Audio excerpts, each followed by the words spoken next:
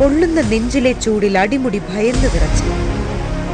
ആകാശത്തിലെ ഉൽക്കകളായി ഭൂമിയിൽ പതിച്ച്. ഒരടിപിടി ഉണ്ടായാൽ ആരാദ്യം തല്ലിയെന്ന് ആരും ശ്രദ്ധിക്കില്ല. അടികൊണ്ട് ആരാണ് അവിടെ ആദ്യം വീണതെന്ന് എല്ലാവരും ശ്രദ്ധിക്കൂ. ആരെ കൊല്ലാൻ വേണ്ടിയാണോ എന്നെ വിളിപ്പിച്ചത്? അവനെ കൊല്ലാതെ ഞാൻ തിരിച്ചു പോവില്ല. സ്ഥലം ഏതാണെങ്കിലും എവിടെയാണെങ്കിലും അവിടെ പോയി ഞാൻ കൊല്ലും. അലകൾ കാത്തിരിക്കുന്നത് തീരത്തെ പുൽകാണ്.